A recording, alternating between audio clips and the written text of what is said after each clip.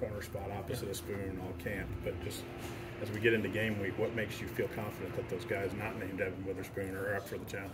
Well, um, I think they've, they've been rising to the to the um, level of practice each and every practice. You know, um, um between Taz, between Terrell Jennings, between Tyler Strain, and um, and um, Tyson Rooks, they've all been doing a great job pushing each other, um, pushing Spoon. So it's gonna be it's gonna be fun and exciting when you guys find it on game day who that who that other starter is opposite of Spoon. But um, I'm very confident about every last one of those dudes. To be completely honest with you, um, all of them have made plays during spring ball.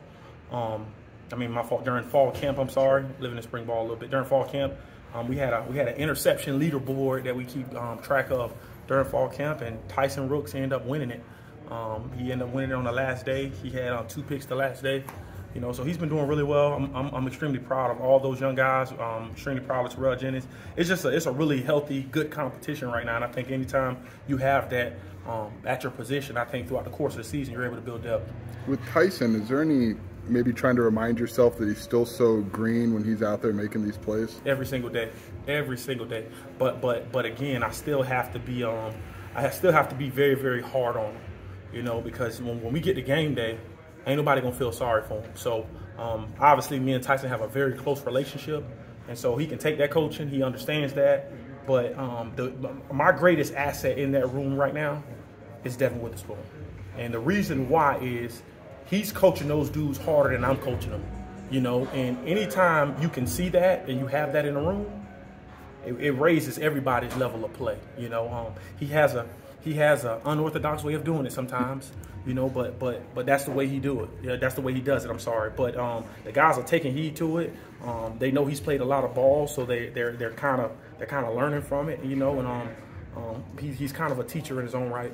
What kind of picks did Tyson have to, to win the? Interception? All of them. A feature like yeah, six four. He's like picking them out of the air. Yeah, yeah. That's that's exactly what was taking place. Um, all of them were deep balls. Um, it was funny because um, we had a we had a, um, a practice um, on a grass field, and um, it was a deep ball thrown to him to his side, and he picked it off in the end zone, and he stopped. And everybody's looking at him like, run, run, run. You know, like he, like he, he, he hadn't experienced that moment yet, and he was just happy to get the pick. And he didn't understand that now you're a wide receiver and you're trying to score now, you know. And so it was a learning lesson for us all, even um, even as coaches. But um, all, all, most of his most of his interceptions have come from down the field, snatching the ball out of the sky. When uh, camps, Wyoming's, Wyoming's known as a more physical team, running team. Absolutely. How you feel about your guys as far as uh, getting out blocks and making tackles? so in, run support. So in order to get into the room, right? In order to walk into the room, you have to be a willing physical tackler right? And so um, um, at the end of the day, it's either it's either a touchdown or a tackle, and so that's what we're preaching 24/7. Um, we ask here at the University of Illinois, we ask all our corners to be in the run field, right? So they are extensions of linebackers, extensions of safeties. You're not just asked to cover all right, on this team, right? Devon Witherspoon has shown that he can come up and be physical. Tony Adams last year shown it, and we don't expect nothing less from any of those guys that, that are out there at that corner position. So they're going to be forced to tackle. Um, I think Wyoming does a good job of running the ball and forcing guys on the perimeter to tackle, and it's going to be a really good challenge for us. When you laid out your goals for camp, did you achieve them on the other side? Are you where you need to be at this moment going into game week? Um, we're close.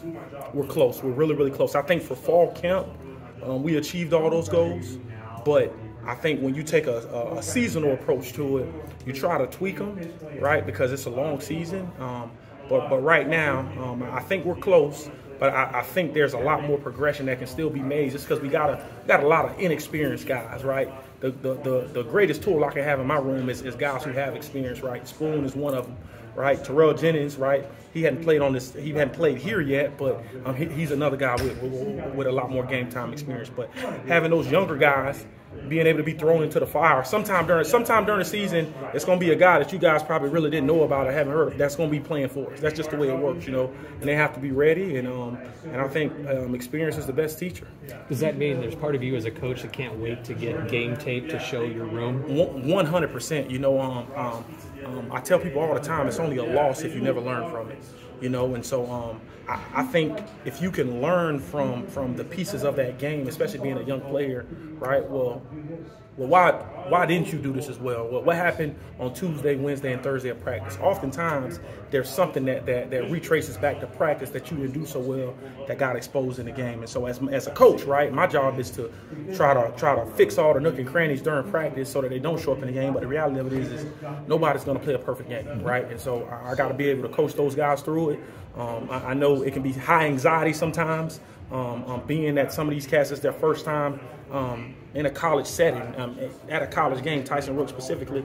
But um, you just gotta take the good with the bad, and hopefully, hopefully they're able to learn from it. What are the coaching points that you sorted out when you were going through who was going to be that number two guy? Like, what, what did they have to do to win that job? Um, I think part of it is is one, they got to make plays.